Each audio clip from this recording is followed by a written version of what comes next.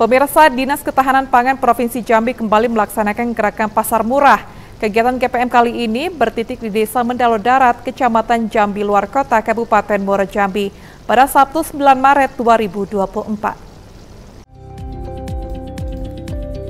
Bertempat di SMA Negeri 2 Kabupaten Muaro Jambi, Sekretaris Daerah Muaro Jambi Budi Hartono mendampingi Gubernur Jambil Haris dalam menghadiri ajang seni dan kreasi siswa SMA Negeri 2 Kabupaten Muaro Jambi.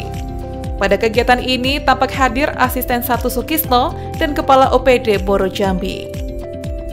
Hal ini bentuk dukungan dan support pemerintah kepada siswa yang memiliki kemampuan di bidang seni dan kreasi yang dapat membawa nama harum Kabupaten Muaro Jambi. Dalam kesempatan ini, Sekretaris Daerah Kabupaten Muaro Jambi Budi Hartono sangat mengapresiasi kreativitas sekolah yang tergabung dalam guru dan murid dalam pengembangan seni dan kreasi siswa.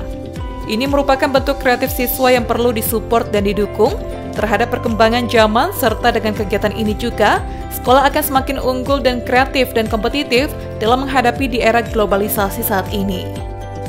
Novia Putri Sanjaya, Cek TV, melaporkan.